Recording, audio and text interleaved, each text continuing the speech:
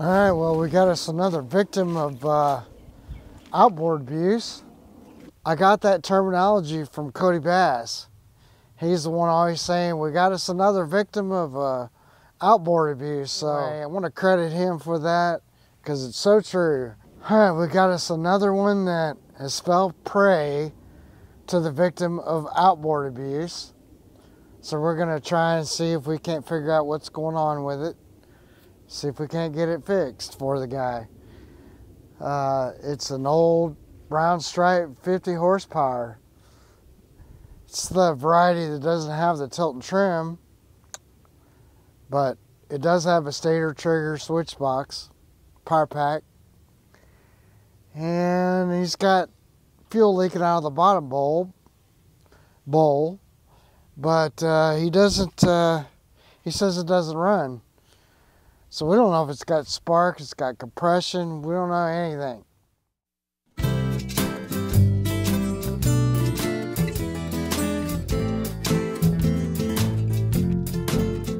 Okay, so we got a few different things. I got my tool bag out here. Um, got my remote deal, which I know I would one of these days I'm gonna get a little push button one. This is something I made for remote starting. Uh, got a timing light out here.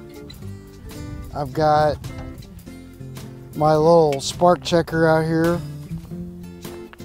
And uh, so I got a just a wrench out here to remove the spark plugs. Um, he has an onboard charger, so I've got that plugged up to here and we want to pull our fuel connector. All right, so we're going to pull our fuel connector and then we're going to open this guy up.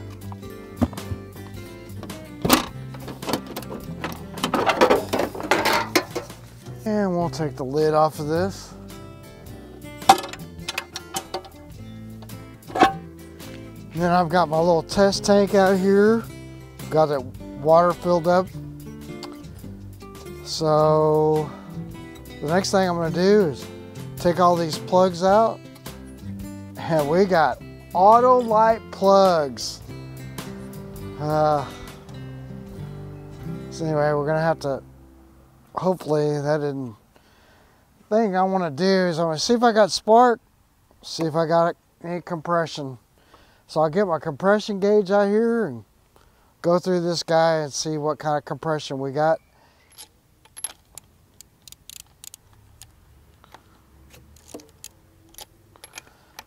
Yeah, not super tight. Yeah, I never run Autolite plugs. Uh, unless somebody disagrees with me, but it's not a good plug. It looked very oily.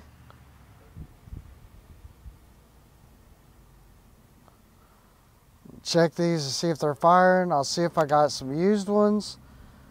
That one's oily, a lot of gas.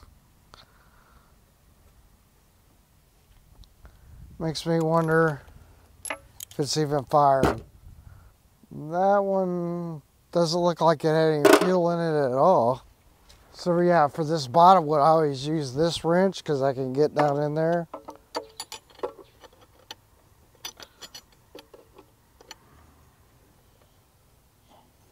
And it was barely in.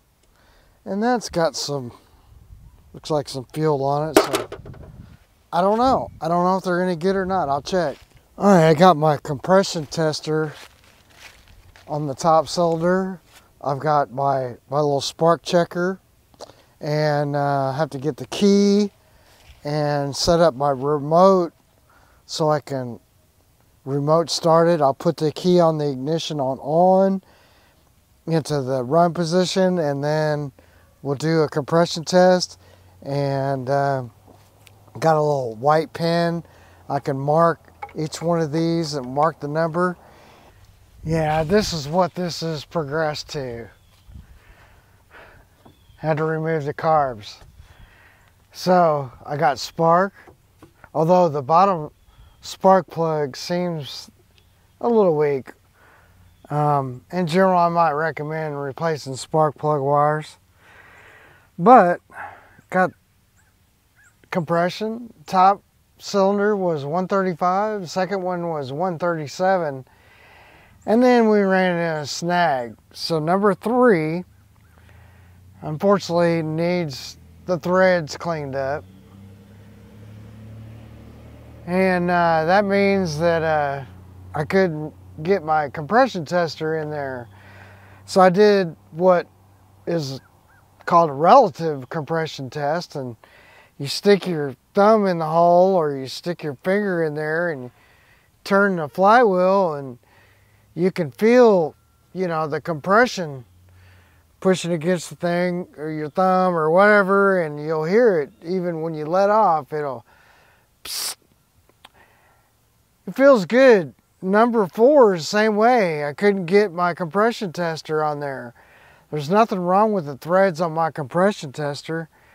So whoever puts these Autolites in or whatever they did they kind of messed it up because anyway i just have to get a thread chaser chaser. So I have to get a thread chaser, chase those threads, and then I could do a true compression test, but I don't, I know that's not our problem. Our problem is these carbs. So let me show you. All right, well, these are the carburetors. Yeah, they're pretty, pretty dirty. I already tell that this is going to be a situation where I'm want to clean them in the ultrasonic. So I bring them over here a lot of times, get the old gas out of them, and then uh, this will just twist off. Should I think I think so. Can't remember. Well, I'll be. We'll get this off. We'll get our little choke off. So it goes like that. But I like to break them down over here. This gas kind of goes everywhere. But yeah, this has got to be our issue. I would say pretty dirty on the I'm sure this fuel pump hasn't been addressed in a long time. So obviously you can kind of tell this would be number one or number two. And then of course this is That's number one. Anyway.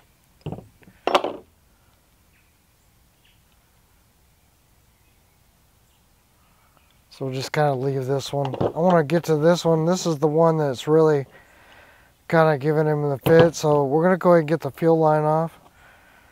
And uh, that's pretty simple. I got a couple different pairs of pliers probably replace this fuel line. It looks, you know, it doesn't even have any fittings to it. So yeah, sucking air. Let's throw that in there. Um, this is to be an adjustment. So we can just go ahead and take that out because we're to adjust all this later.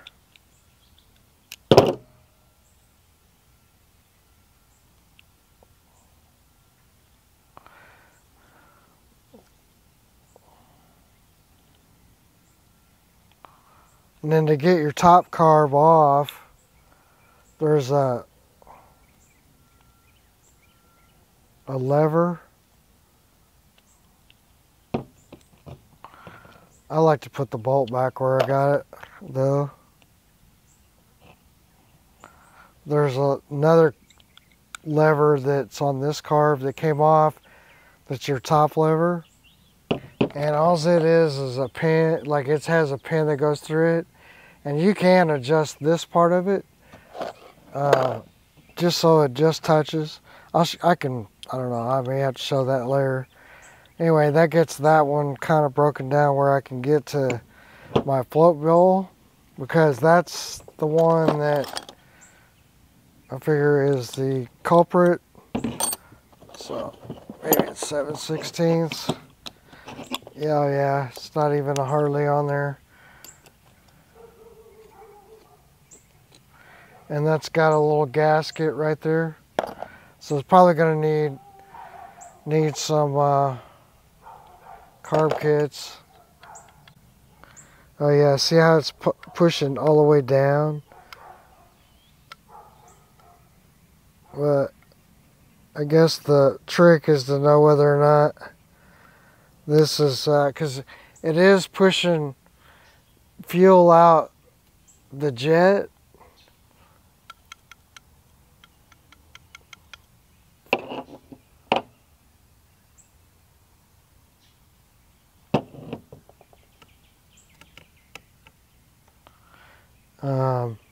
I mean, we can this is how you would adjust them. Like, you know, you get pushed down on that, then it's going to be higher. Ah, I see what's wrong with it. Oh, I'll get a good picture of this one. All right, you don't see this a lot, but occasionally you will see this. The problem with this carburetor is that if you I don't, I'm hoping this is going to come out. If you notice inside that flow ball, there's some liquid. See it moving? I'm hoping you guys can see that moving. So we got a bad float on this one. And I don't know if I got another float or not. I'll look and see what I got but you can see it almost a bubble.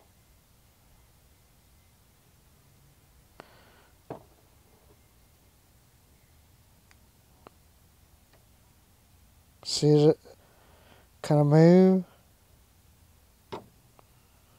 Hopefully I'm getting a good shot of this. So, this was just filling up inside here. Wasn't doing its job, I don't think. Anyway, we'll pop that pin out, see if we can find us another float. I don't know if I got any or not. And because inside of our here, it really doesn't look that bad. So just because I'll go ahead and pop the other one and see what it looks like.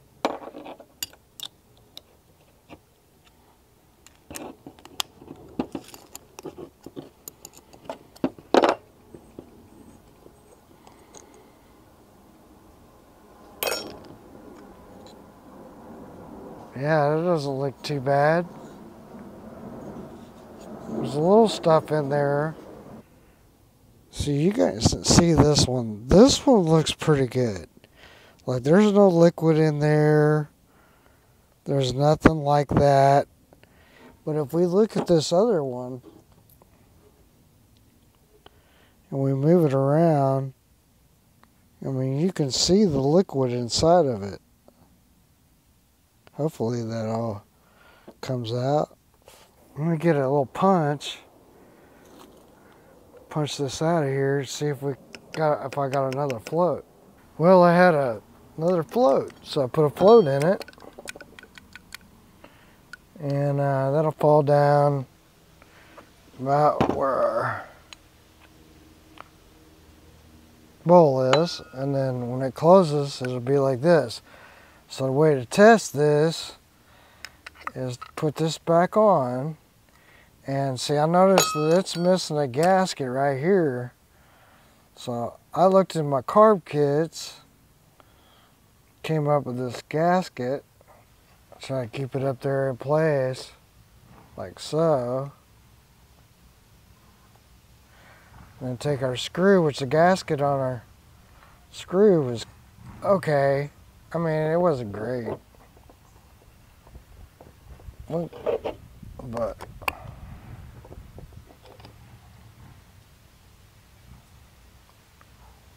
have a real good look at it.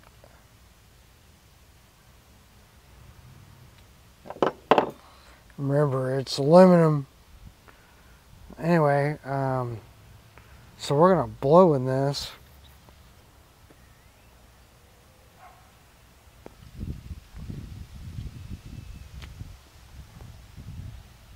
Oh yeah, these are the ones that are the pumps. yeah. All right, so I'm gonna put these back on and I'm gonna uh, spray it down a little bit. But I'm gonna put these back on and see if that does the trick.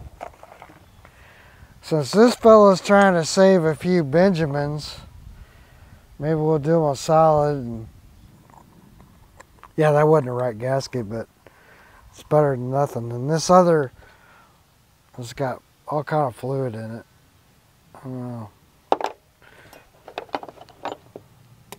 And then also, we'll see if I got enough fuel line. And I'm to replace all this fuel line. So, let's take this can of B12 and hose down the outside. Because that spec, that's all it was.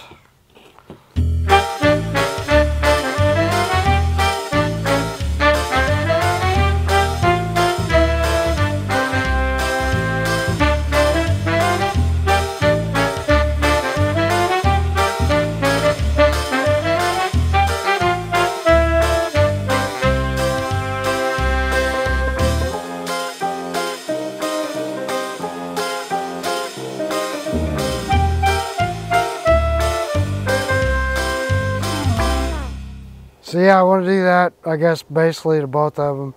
So I'm just going to spray one down. I'll let you guys go. Um,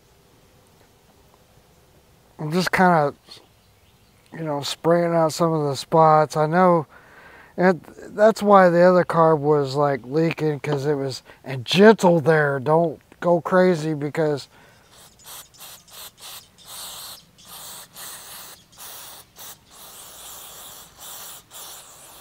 plastic. Anyway, let that one kind of dry out. So this is just for the guys that don't think it takes very long and they want to know, like, you know, why carb clean costs so much. Is because it takes a while to do this. So, you know, like, there has to be like levels of the carb clean. It's like, what are you going to do? You're going to do a whole, you know, kind of deal or you're gonna do a partial. And I'm sorry there is an air needle air, air valve. I don't know why I said there wasn't. Inside the bowl was really clean. Um, then we can get this one off and look at it its filter. One of them will be worse than the other one because you know the top where it comes in well I don't know these actually split right. So they'll be about the same I don't know what I'm talking about, but I'm I'm trying. like Jim. Probably can't see any of this.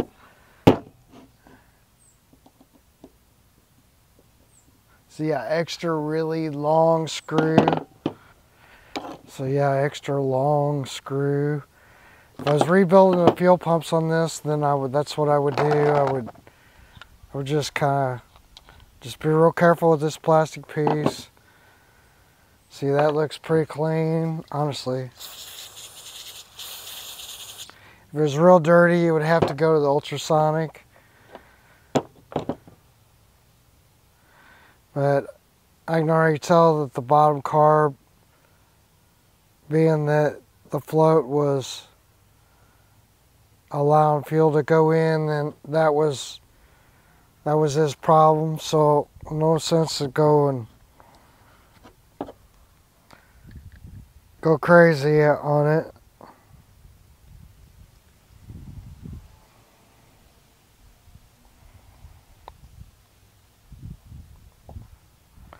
Like I said this is a plastic piece. Sometimes the o-rings leak. Can't get them tight enough because then these little plastic boogers get sort of warped on you and they'll never seal. even with that felt seal that's in there. but click. All right, so there's that one. And I think I did spray it here. Yeah. Now here's it. And uh, we could take this out. Again, I don't think this is necessary. I do want to replace this line. So we could do this one at a time. And I've got some line right here. I have to get some, uh, just happen to have this sitting right here, which is amazing. But, uh, so like we could take and measure this out and cut it, maybe.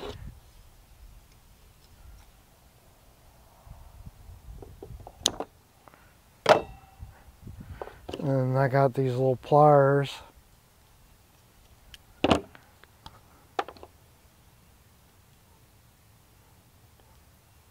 So then there's that one. And this is just some of that uh, prime line you can get at Advance. Looks like this is what maybe somebody tried to do before. I don't know. But we're going to put some little tie wraps around it. And, uh, you know, I don't know. I don't know. I don't think I have enough line for this. Let's see if I can find another piece of this. If not, I gotta get some more prime line. Okay, well, here's the aftermath of the repair.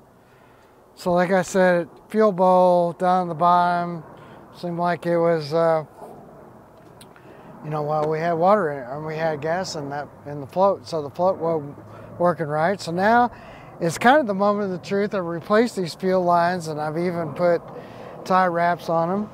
And I think that now is the time that we hook up our fuel and see if we got any leaks.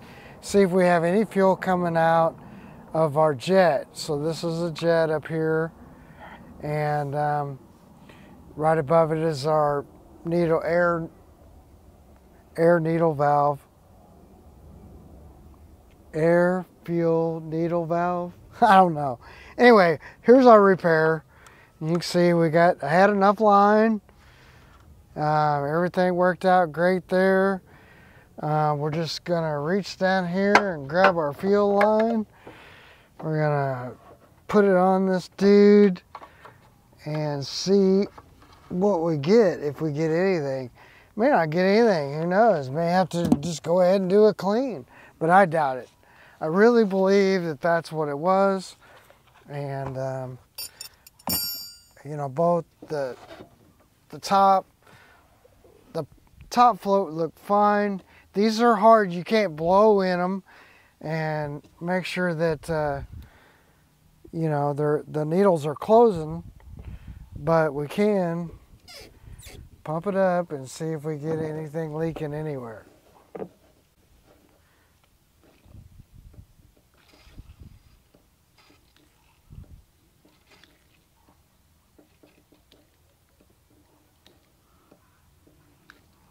All right, there we go.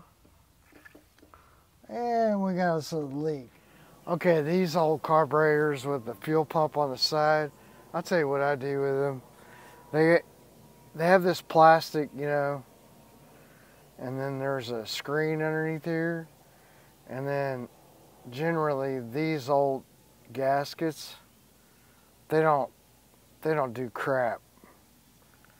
So what you can do is get go to Home Depot, I guess Lowe's, uh, probably Ace Hardware, and you're gonna get what I think is a number 17 O-ring, and I'm gonna put it in here. See if I can't seal this up. Pretty sure it's a number 17. May have to go back. Okay, folks, so went out to Advance Auto Parts and picked up this pack of Dorman. Uh, this is for distributors. Uh, it's O-rings. Normally would go inside of a distributor. So that one. So it's an assortment. you see distributor O-ring assortment. This is going to be, you know, gas and oil resistant. And uh, what we're going to end up with is these two O-rings right here, which is one and five sixteenths. And I've got an old 35 carburetor that is the exact same carburetor, basically.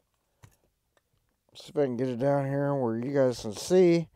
We're going to take this O-ring, and if you look, it fits really, really good in that groove. And then we'll put the cap, and it'll seal it. It'll seal it really good. I'll, I'll get that on the motor. Now, I don't know why Mercury did this. It's got these little bitty edges. Why didn't they make this a whole thing? You know, I don't know. Um, we I could put my screen back in. Honestly, it's not necessary. It's just an obstruction. Um, I like redundant screens. I'm okay with that. But in this case, it's just not necessary. They should have made this this whole aluminum piece one piece. Uh, I don't know. You know, they had the screen. They didn't need to do this. They could have just used the one filter that they had. Uh, and then had an elbow on this and they'd, they'd been done. But no, we gotta, we gotta do this. So anyway, we're gonna take this guy out there and stick it on that 50 that's out outside and hopefully that'll seal it up and uh, there's a little trick for you because sealing these carburetors is really hard to do like they just do not want to seal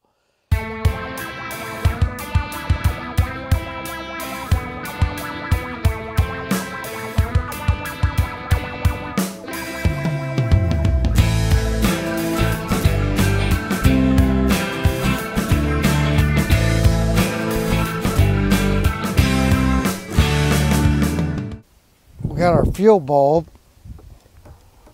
and squeezing on it. It's nice and firm, not hard. I mean, it, you want it firm. You don't want it just all rock hard. You can't squeeze it. But you can see fuel is coming in here and we just want to look and make sure we don't have any leakage anywhere. Right now it's leaking out of the back of the carburetor because I don't have my gasket down, but anyway, that's all looking good. I'm going to put this all back together and Okay, so if you haven't subscribed, go ahead and hit the subscribe button, like, comment, share, do all that stuff, and uh, we'll see you guys on the next video.